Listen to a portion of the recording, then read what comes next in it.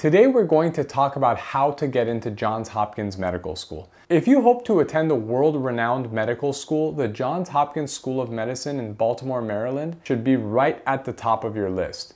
Ranked number 2 for research and number 20 for primary care by the US News and World Report, Johns Hopkins Medical School produces medical leaders who win Nobel Prizes and make groundbreaking research discoveries. It's no surprise that Johns Hopkins attracts competitive applicants from around the world.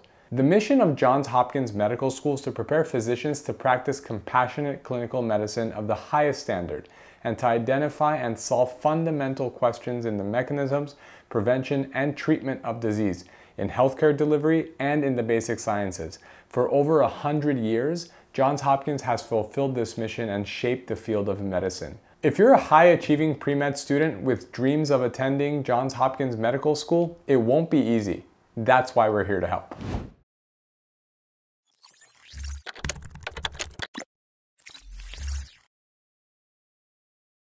I'm Dr. Shirag Shemmassian, medical school admissions expert at Shemmassian Academic Consulting. In this video, we'll discuss Johns Hopkins Medical School's curriculum and programs, acceptance rate, and admissions requirements. We'll also share strategies to help you craft outstanding secondary essays and ace the interview so you can maximize your chances of getting into Hopkins. Let's get started. The four-year MD program at Johns Hopkins Medical School follows a curriculum called Genes to Society. In year one, students study the foundations of medicine while engaging in a longitudinal clerkship based in a nearby primary care clinic. They'll also begin working on their scholarly concentrations, which can be focused on clinical research, history of medicine, public health research, or humanism, ethics, education, and the arts of medicine. Students continue their longitudinal clerkships and study organ systems during the first half of year two. Then students transition to the wards and begin core clerkships in medicine, surgery, pediatrics, OBGYN, neurology, psychiatry, and emergency medicine. This is six months before most med students in other programs start their core clinical rotations. In year three, students begin advanced specialty clerkships. Between rotations are one week intersessions covering topics like genomics, cancer, and regenerative medicine. In the fourth and final year, students complete an advanced critical care clerkship, take medical electives, and match into residencies. The Genes to Society curriculum is advantageous to med students because they begin their clinical experiences much earlier and have the opportunity to integrate their medical studies in the classroom with practical application in a patient care setting. Johns Hopkins Medical School offers an eight year MD PhD program for students who want to make groundbreaking medical discoveries as physician scientists. MD PhD students' tuition is fully covered, plus, they receive an annual $30,000 stipend. Only 15 to 18 students enter this competitive program each year. There are also several dual degree programs available that might interest you depending on your career goals. The MD MBA program with the Johns Hopkins Carey Business School will develop you into a leader in the healthcare marketplace by empowering you to achieve better medical outcomes through smarter business practices. MD MBA alumni may continue on to become medical directors of group practices or serve as scientific liaisons translating medical discoveries into sellable products. The MD MS in healthcare management degree also through the Carey Business School, will prepare you to change the industry and improve the quality of healthcare. Through this program, you'll gain the skills to open up a community clinic in an underserved area or serve as a consultant for local healthcare policies. The MD Master in Bioethics program offered by the Berman Institute of Bioethics combines science and technology to prepare you for the bioethical challenges you'll face in your medical career. With this training, you might serve in public policy, clinical practice, or scientific research as an advisor, finding ethical solutions to concerns arising from new medical discoveries. And the MD MPH program with the Bloomberg School of Public Health will empower you to address global health problems with multidisciplinary approaches. Alumni of this dual degree program continue on to serve as consultants, project leaders, and researchers for public health agencies protecting and advocating for vulnerable populations. We encourage you to explore your medical career options and define your goals to see if any of these advanced programs are right for you. What does it cost to attend Johns Hopkins Medical School? Now that you're excited about these programs and curriculum, let's look at the price of Johns Hopkins Medical School. The 2019 to 2020 tuition is $56,800 and the total cost of attendance, including room and board, supplies and transportation, comes out to $83,000. While this seems expensive, Johns Hopkins offers over 150 need-based scholarship and loan opportunities to its students to reduce the total cost. Over 80% of students benefit from either institutional or federal aid. The average Johns Hopkins graduate takes on about $120,000 of medical school debt. This number is much lower than the average for all med school graduates, which is $232,000 according to the National Center of Educational Statistics. Plus, attending a prestigious school like Johns Hopkins improves your odds of matching into competitive residencies in high earning specialty areas that will make it easier for you to repay your med school loans. How hard is it to get into Johns Hopkins Medical School? It should come as no surprise that getting into Johns Hopkins Medical School is challenging. Over 6,000 students applied in 2019. 856 students, or 14%, were interviewed, and 256 students, or 4%, were admitted. In the end, 120 students, or 2%, matriculated. These numbers are enough to make any high achieving pre med nervous. So, what were the stats of these admitted students? Well, the median MCAT score was 521, or the 98th percentile. If we widen our scope to consider the 10th to 90th percentile range of accepted students, the MCAT range was 516 to 525, or the 93rd to 100th percentile. The median for both science and total GPA was 3.95.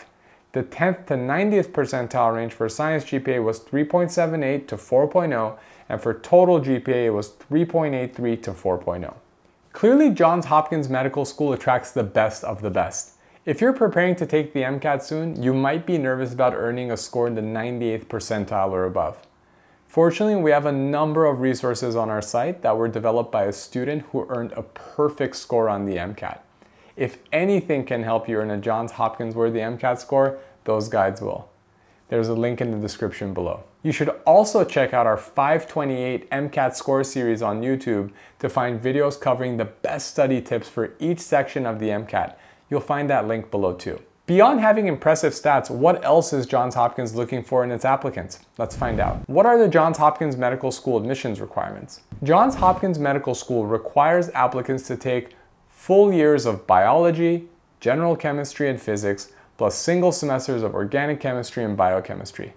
It also requires one year of calculus or statistics. Because Johns Hopkins seeks well-rounded students who will excel in patient care, it requires eight classes total in the humanities, social, and behavioral sciences too. Applicants are also encouraged to become conversational in a foreign language so they can better improve healthcare delivery across all communities. Beyond these academic requirements, Johns Hopkins Medical School looks for students who possess qualities of leadership, service, compassion, creativity, and the ability to work in a team. You should demonstrate these characteristics through your extracurriculars and your essays. Find opportunities to be a leader and show your creativity by solving the health problems you see in your community. Johns Hopkins matriculants have impressive extracurricular backgrounds. 98% have research experience, 92% have medical volunteer experience, and 83% engage in community service. If you want to get into Hopkins, be prepared to work hard and commit yourself to activities that demonstrate Hopkins' mission and values. We know choosing the right extracurriculars can be stressful, so be sure to check out our guide linked in the description below. How to write exceptional Johns Hopkins Medical School secondary essays. Your Johns Hopkins Medical School secondaries give you the opportunity to tell your story and prove that you're a future leader in medicine. Make a list of your best qualities relating to Johns Hopkins' mission. Then Think of when and where you demonstrated these qualities. Once you've found the best experiences to use for each prompt, write those events as stories that'll engage your application readers. And remember, it's important to show, not just tell. Prove you possess these qualities rather than just saying you do. Use this approach with every secondary essay. When you finish this video, be sure to read our supplementary guide, How to Get into Johns Hopkins Medical School, to find full-length essay examples that will show you how to apply these strategies we're about to dive into. There's a link in the description to that as well. Question number one. Briefly describe your single most rewarding experience. Feel free to refer to an experience previously described in your AMCAS application. When choosing which experience to describe, first consider which of your qualities you want to demonstrate. For example, you might show your compassion and desire to help people by speaking of the summer you spent driving patients to and from chemo treatments. However, if you've already proved your compassion in other parts of your application, look for a new quality to illustrate. Don't waste application space by repeating the same information over and over. The real estate on your application is too valuable and limited for you to be unnecessarily repetitive. This essay can be your opportunity to demonstrate your ability to work on a team or show how you creatively found the solution to a challenging problem. Question two, are there any areas of medicine that are of particular interest to you? If so, please comment. In this answer, share your motivation for choosing a specific area of medicine, such as primary care, surgery, dermatology, pediatrics, or oncology. Picture your dream career. Who are your patients and what are you treating them for? What motivates you toward that specific dream? That's what you'll write about in this essay. For example, you might share your dream of working with children who have autism and conducting research on language development because you have a younger sibling with autism who never learned to speak. You'll want to make sure your enthusiasm comes across in your writing. Have a friend or one of the experienced admissions consultants from our team read it over and ask if your excitement is evident. To craft a strong response and impress the Johns Hopkins AdCom, you'll want to address how you hope to advance your chosen field and how your past experiences have prepared you to do so. Prove you're the type of future leader Johns Hopkins seeks. Question three, briefly describe a situation where you had to overcome adversity. Include lessons learned and how you think it will affect your career as a future physician. The purpose of adversity questions is for Johns Hopkins to see how well you manage stress and deal with difficult situations, an important aspect of a physician's job. You don't have to share the biggest adversities you faced in life, though you could. An effective essay can be as simple as recounting when your beloved pet ran off and you enlisted the help of your community to find it. Whatever you write on, be sure to focus on the steps you took to resolve the problem and remember to reflect on the lessons you learned through the experience. To make your essay especially effective, show how the challenges you face make you a perfect fit for Hopkins Medical School's mission, programs, and resources. For more strategies on how to tackle the adversity question, check out our medical school secondary essay guide, where we address common misconceptions and offer compelling sample essays for every common prompt. Link in the description box below. Question four, briefly describe a situation where you were not in the majority. What did you learn from the experience? Somewhat similar to a diversity essay, you might choose to answer this question by discussing your ethnic or socioeconomic minority background. However, with a prompt so broad, you can widen your scope to discuss any minority experience. For example, you might describe being in a religious minority at school or being the only male in a women and gender studies seminar. The important thing is to focus on how the experience deepened your sense of self or helped you appreciate others' perspectives, making you better prepared to become a compassionate physician. Question number five. This one's optional. The admissions committee values hearing about each candidate for admission, including what qualities the candidate might bring to the School of Medicine if admitted. If you feel there's information not already addressed in the application that will enable the committee to know more about you and how this has influenced your desire to be a physician, feel free to write a brief statement in the space below. You may address any subject you wish, such as being a first generation college student or being a part of a minority group whether because of your sexual orientation, religion, economic status, gender identity, ethnicity, or being the child of undocumented immigrants or being undocumented yourself, etc. This is your last chance to convince the admissions committee you're the perfect fit for Johns Hopkins Medical School. First, decide which quality to convey. What quality haven't you demonstrated elsewhere?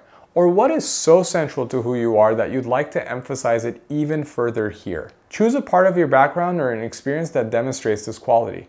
For example, you might show your passion for advocacy and increasing access to healthcare by sharing how you worked to pay for your little sister's asthma medication because your family didn't have health insurance. Remember to include how this experience motivated you to become a physician and make you an exceptional match for the mission of Johns Hopkins, which is to improve compassionate patient care and further research in the areas of science, healthcare, and disease. Writing these secondary essays may be the most challenging part of your application, but if they're strongly written, your statements can increase your chances of being invited to interview at Johns Hopkins Medical School. How to prepare for the Johns Hopkins Medical School interview. If you get invited to interview at Johns Hopkins, Give yourself a pat on the back. You've impressed the AdCom with your stats, extracurriculars, and essays. Now you have to prove you're as great in person as you are on paper. Johns Hopkins Medical School conducts traditional one-on-one -on -one interviews. To prepare, make sure you do your research on Johns Hopkins and its programs. Scour the school's website, go on Med student message boards, or connect with alumni through LinkedIn. Learn everything you can. In your interview, you'll want to show your enthusiasm for Hopkins and your fit with its mission. Remember to review your AMCAS and secondary applications since your interviews might ask you questions about specific stories or activities you shared. Also, make sure to inquire about interviewers' research interests. Even if you aren't familiar with that field, ask a few thoughtful follow-up questions to show you're able to engage on a professional and academic level with faculty. And don't forget to practice. Set up several mock interviews with classmates, advisors, or one of our admissions consultants. Get comfortable thinking on your feet and answering challenging questions. There you have it. We've shared strategies to help you become a standout candidate for Johns Hopkins. By following our guidance, you'll maximize your odds of getting accepted and making your Johns Hopkins Medical School dreams come true. If you found this video helpful, give it a thumbs up and subscribe so you don't miss out on new videos. And if you'd like to learn more about the med school admissions process, click the link in the description to get our free comprehensive guide, How to Get Into Medical School. The strategies in the guide are the same ones our team uses to routinely help students get into top schools like Johns Hopkins. All right, thanks for watching. See you next time.